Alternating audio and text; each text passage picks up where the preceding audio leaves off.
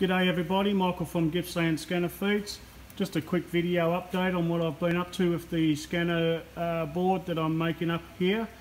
I have managed to mount the CFA listening set with a bit of Velcro. I have the transceiver mounted with a bit of Velcro, uh, which is currently scanning the airband. I have also mounted the Realistic Pro 2010 scanner to the board using a bit of double-sided tape.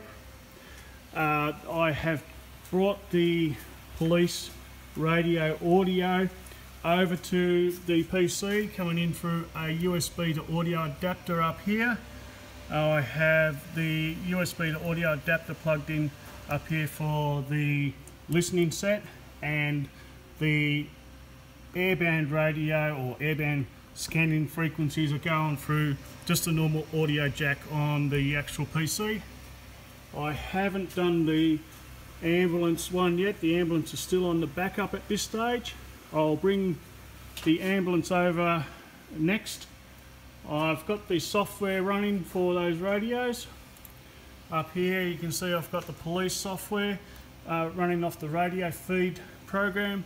Uh, I've currently got 151 listeners. If I click on to the next one, I have the SES CFA uh, feed and I've currently got four listeners. If I click on the next one, I have the Gippsland Area Aviation Channel or the uh, airband and it's connected up through and it's got two current two listeners. So that's just a quick update on what's been happening with the uh, progression of this board. I'll post more videos as they become available. Okay, day two, and I've finished mounting all the radios. So we've got the two MCX 760s down here. Uh, this one being the ambulance, and this one being the police.